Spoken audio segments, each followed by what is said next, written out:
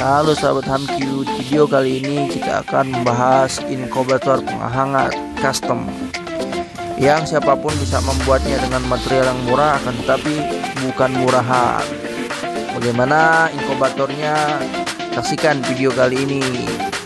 Eh tapi jangan lupa like, komen, dan subscribe.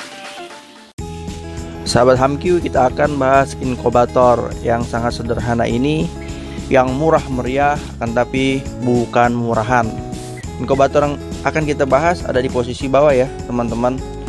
Inkubator yang di bawah ini mempunyai komponen dasar multiflex semi jati Belanda dengan ketebalan 6 mili dan komponen-komponen lainnya yang melengkapi inkubator ini seakan-akan dilihat seperti wow. Inkubator ini lumayan murah kalau seandainya ada keinginan mau membuat kita lihat video ini, komponen apa yang melengkapi inkubator yang sederhana ini.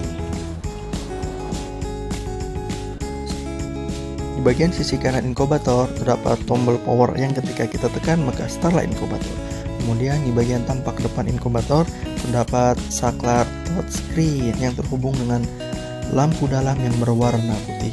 Nah, lampu inti dari termostatnya atau lampu penghangatnya berwarna krem atau kuning tetapi ini lampu tambahan berwarna putih. Di bagian pintunya dilengkapi dengan hidrolik yang sangat membantu kita untuk membuka pintu tersebut tanpa harus menahan maupun menganjak. Kemudian handlenya ini dari besi babet yang sangat enteng berwarna silver metallic dome. Kemudian di bagian kanannya lagi terdapat blower atau juga exhaust yang mengeluarkan udara pengap dari dalam keluar